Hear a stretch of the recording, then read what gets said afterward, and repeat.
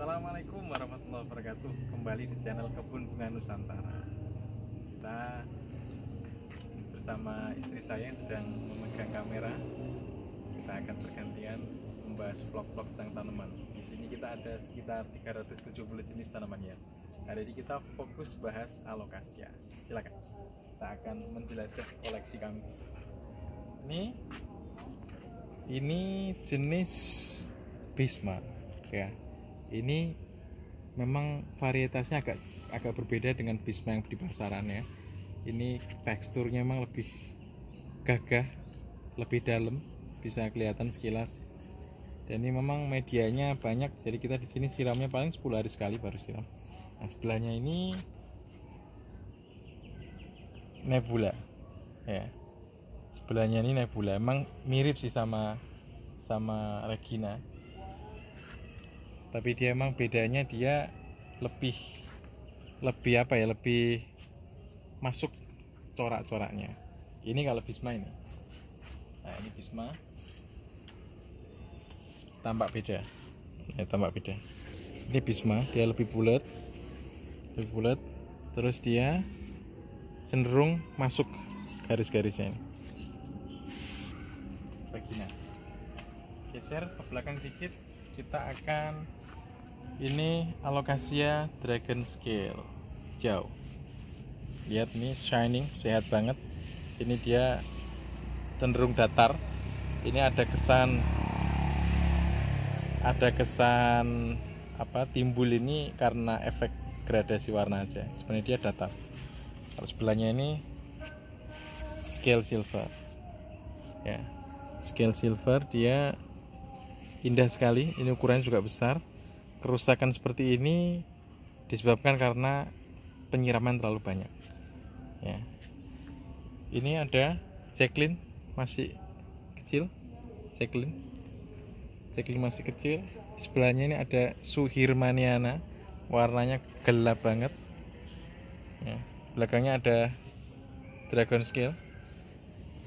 Ini warnanya hitam. Kita juga nggak tahu ini kenapa kok jadi hitam ini warnanya belahnya silver scale.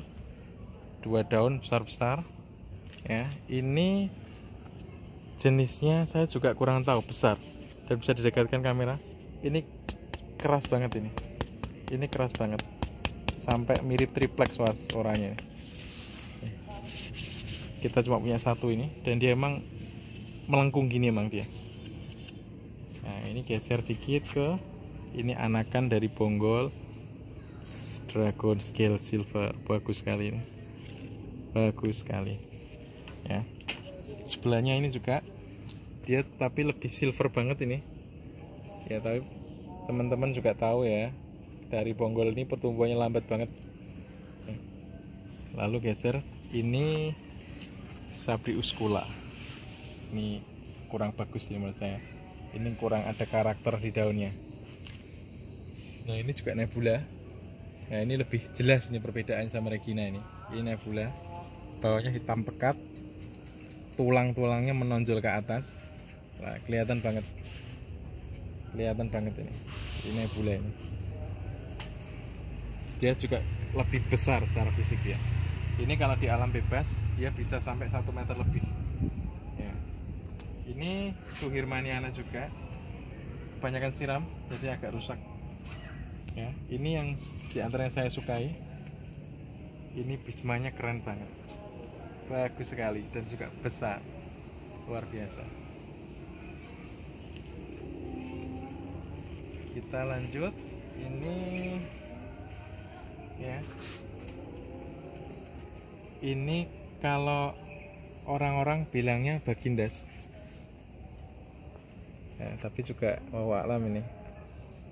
Saya sih suka karena memang dia dominannya warna hitam. Bagus banget. Dan dia adaptif di dataran rendah. Ya. Bawah dikit ini. Kalau ada yang tahu namanya silahkan disebutkan.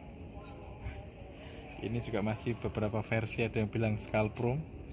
Ada yang bilang apa macam-macam. Ini geser dikit ke black indo ini daunnya rontok karena kebanyakan siram black indo hitam banget. Hitamnya sempurna shining. Nah, ini sama Bisma anakan.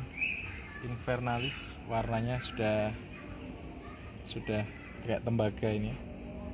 Nah ini Suhirmaniana anakan. Merah. Merah banget. Kalau Watsoniana nggak semerah ini.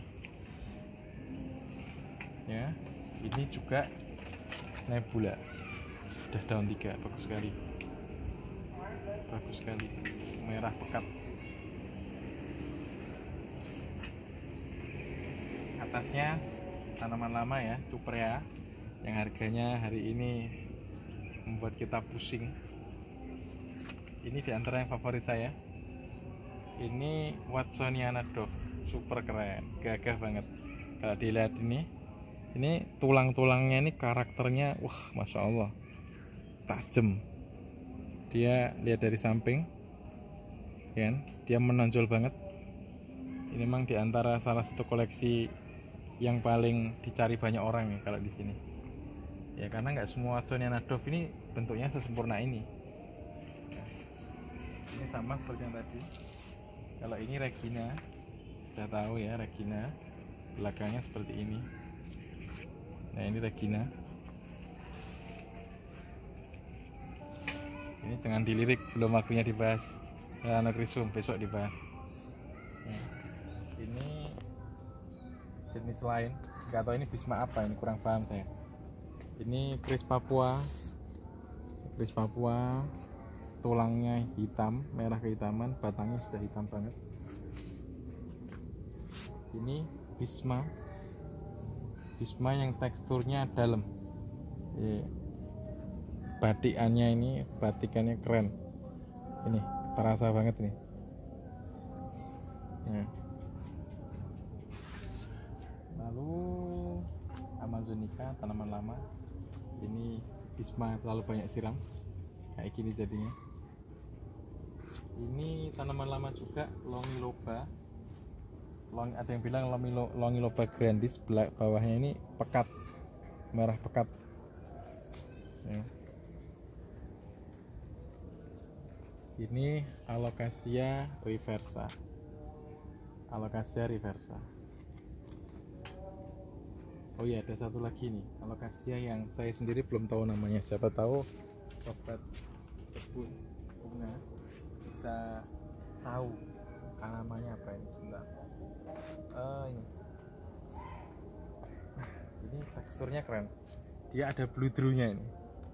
Dia ada bludrunya lalu nih ada kesan dia ini teksturnya ini full kayak gini. Nah bagus ini. Ini juga saya karena belinya dari Bonggolan ya nggak tahu. Yang punya juga nggak pernah. Yang saya beli juga nggak pernah ambil tanaman ini gitu. Makanya unik juga ini apa dia silangan dari beberapa jenis tanaman atau gimana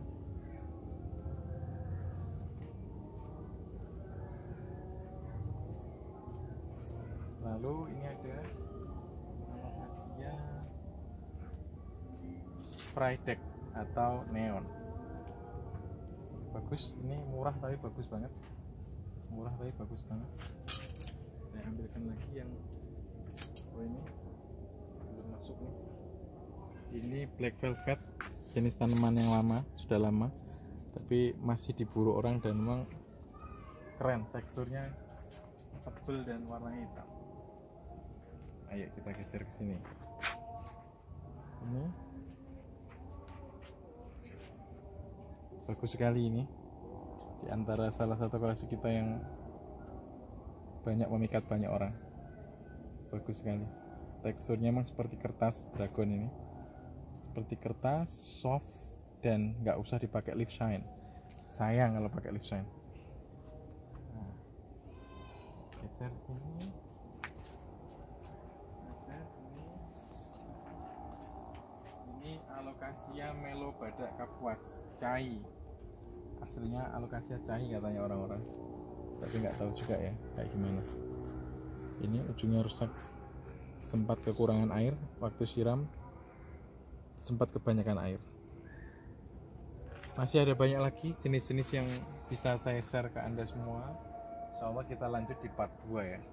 Pengenalan tentang jenis-jenis alokasia kurang lebih ada sekitar 37 jenis yang kami ada hari ini ya terima kasih. Di lain waktu akan kita share bagaimana cara mulai semai dari bonggol. Satu bonggol bisa menjadi puluhan tanaman. Assalamualaikum warahmatullahi wabarakatuh